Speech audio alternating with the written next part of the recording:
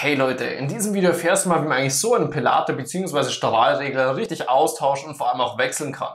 Wenn du Bock darauf hast, dann bleib auf jeden Fall dran.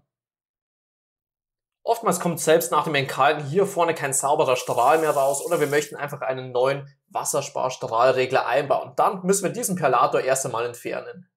Normalerweise sollte er sich per Hand lösen lassen. Wichtig hierfür, man muss natürlich in die richtige Richtung drehen. Bei einem Gewinde schauen wir von unten drauf und dann drehen wir das Ganze gegen den Uhrzeigersinn. Wenn man natürlich von oben drauf schaut, dann schaut es so aus, als ob wir im Uhrzeigersinn drehen. Ich probiere es jetzt mal. Bei mir tut sich hier leider nichts. Das kann bei Verkalkung natürlich immer sein.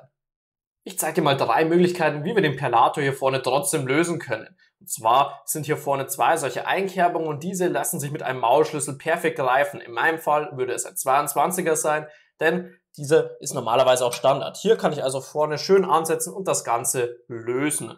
Wenn man das öfters machen muss, dann empfehle ich auf jeden Fall so einen Universalschlüssel. Der ist für verschiedene Perlatorengrößen geeignet und auch hier kann ich diesen einfach schön ansetzen und auch wieder lösen. Im Notfall, was ich eher nicht empfehle, ist natürlich so eine Wasserpumpenzange. Diese ist eher nicht so begehrt, hat aber jeder zu Hause normalerweise, denn damit verkratzt man hier vorne unsere Mischdüse auf jeden Fall. Wenn du also trotzdem mit so einer Wasserpumpenzange hantieren möchtest, dann empfehle ich dir noch, dass du einfach mal noch hier ein Tuch anlegst und dann diesen Perlator hier schön greifst und das öffnest.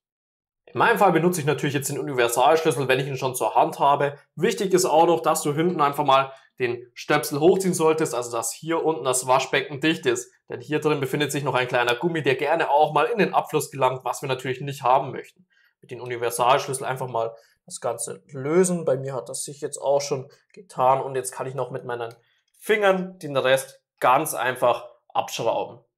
Bei mir ist der Gummi hier jetzt gleich mit rausgegangen. Es kann aber auch sein, dass der Gummi hier innen drin noch feststeckt. Dann einfach mal mit dem Finger hier reinlangen und diesen Gummi rausziehen. Wenn wir das gemacht haben, können wir mal unseren Wasserhahn bzw. unsere Armatur leicht öffnen und mit dem Finger hier etwas reingehen und das Gewinde säubern. Hier natürlich aufpassen, dass man sich nicht schneidet.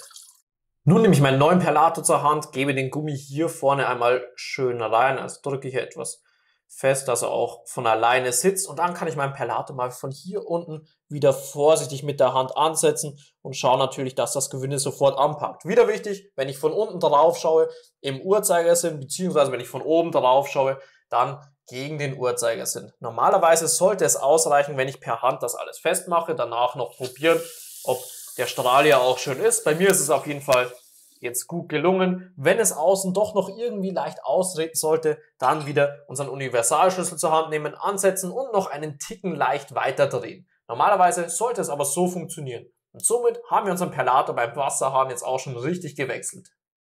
Wenn du für zu Hause übrigens gleich mehrere solche Perlatoren zulegen möchtest, um einfach Geld zu sparen oder auch eine Wasserpumpenzange, einen Maul bzw. auch so einen Universalschlüssel benötigst, dann kann ich dir hierfür Amazon empfehlen. Hier hast du nämlich eine sehr hohe Qualität von Markenherstellern zu einem relativ günstigen Preis und das Beste hierbei, das Ganze wird direkt zu dir nach Hause geliefert und du musst nicht extra in ein Geschäft hierfür fahren. Wenn du dir also eins von diesen Utensilien hier zulegen möchtest, dann einfach mal hier unten drunter in der Videobeschreibung auf den entsprechenden Link klicken und du kommst zu den ganzen Produkten hier. Wenn dir das Video gefallen und somit auch weitergeholfen hat, würde ich mich natürlich über einen Daumen nach oben freuen. Außerdem kannst du hier oben meinen Kanal kostenlos abonnieren, um kein neues Video mehr zu verpassen. Und hier unten drunter gerne einmal ein Problem bei dir zu Hause in die Kommentare schreiben, wofür du einfach noch keine richtige Lösung gefunden hast.